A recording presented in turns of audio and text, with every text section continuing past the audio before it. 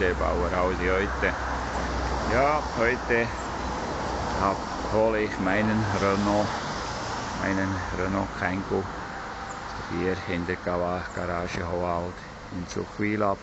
Und die Citroën, der Lingo, ist am Ende, Zylinderkopfdichtung ist kaputt.